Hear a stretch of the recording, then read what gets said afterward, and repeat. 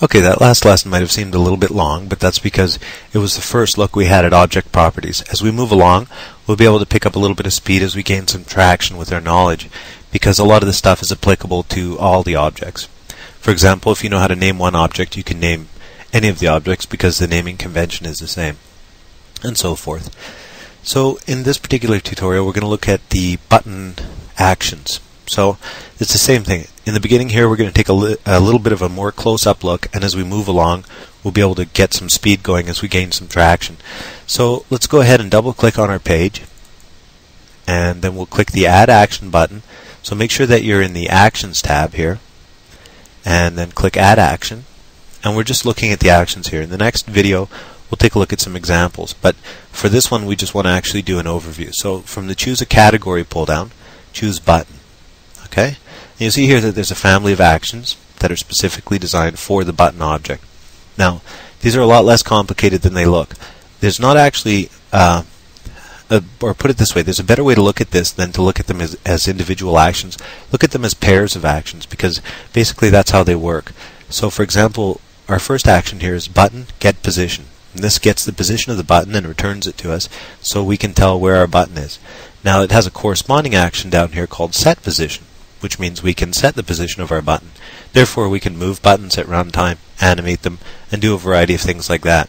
Again, you'll notice that the next one comes in a pair too. So we've got button, get size, and that tells us how big our button is, for example, 200 by 100 pixels.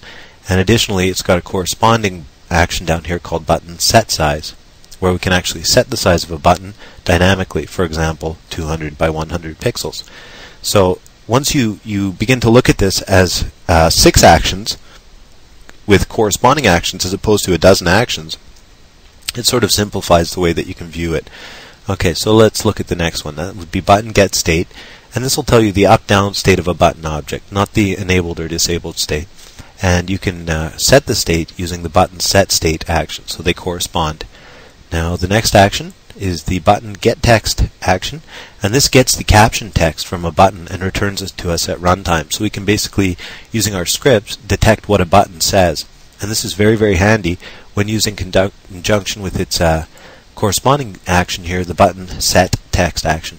So we can basically get and set text for buttons at runtime. Now this is a really great thing. I mean, for example, if you're doing dynamic uh, scripting, shopping carts, database uh, based things, whatnot, you can basically use one button style and apply any set of information to it at runtime. Okay? So, for example, in a shopping cart, you might have a page that is one central layout to display your items, and you can just display the item title on the button as you as you go along. And when you change items, you just change that text using a button set text action. Okay, so uh, we'll look at that one specifically in the examples video next. But let's just take a look at the last two here and that would be the button is enabled and button set enabled pair. Okay, so we can check to see if our button is enabled, and we can also set whether it's enabled or not. And the final pair is the button is visible and button set visible pair. Okay, so we can check to see if our button is visible, and we can set its visibility to true or false using this action. So as I had mentioned earlier, it's very easy to uh, enable a button or disable a button using a single tiny action here just by using a true or false. Now, a couple other things here. You'll notice as we go down through the actions, down here in the bottom, you get a little description of the action, right? So for example, if we click on set state, it tells you it sets the up-down state of a button object.